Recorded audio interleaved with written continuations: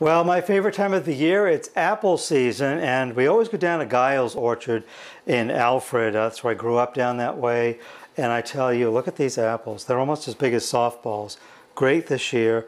Um, and I'm going to make not an apple crisp like everybody makes. I make an apple crumble. I got an old recipe. I don't even know where I got it. But it's very simple. The hardest part is cutting the apples. It's one, one swoop, and it's there's the core. So I'm going to need about five or six, apples for this. You can leave the skin on or off. The recipe calls for you to trim it off. So, so you can cut them in, into chunks. You know, not too big, not too small. All right, we've chopped up our apples into chunks. We've left some of the skin on, taken some of it off.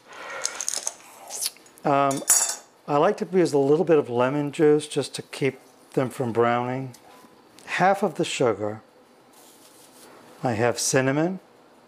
I'm going to add half of the cinnamon. Fresh nutmeg, so just very, just a couple swipes. And my secret ingredient, brandy. Everything's better with booze.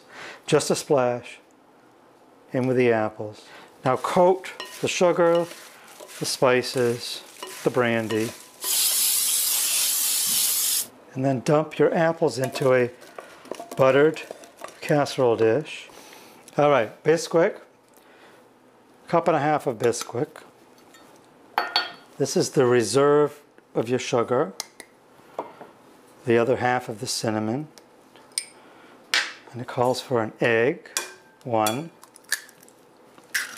You sprinkle this on top of your apples, and you see how loose it is. A half a cup of melted butter, and you just drizzle this over the top. Another sprinkle of cinnamon. And this will go in the oven for about a half hour, 350 degrees. And the apple crumble is complete, but it wouldn't be complete without a scoop of French vanilla ice cream.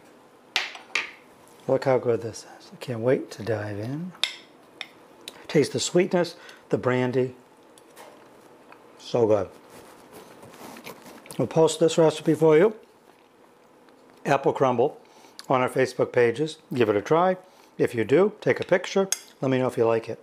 And we'll see you next time.